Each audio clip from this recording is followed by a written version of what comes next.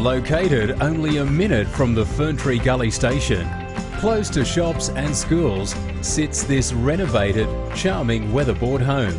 Set on 1,744 square metres, this property, currently returning $1,348 per calendar month, and offers a fantastic opportunity for developers to make a great return. The property comes with plans for two homes, keeping the original, all set on street frontage blocks, subject to council approval.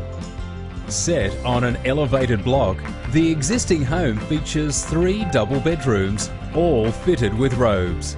Large living areas including a separate family and lounge. There is loads of storage, an updated oven stove, fully renovated bathroom, new vanity, floors and shower, ducted heating, air conditioning, new paths and parking bays create a sense of flair about the home.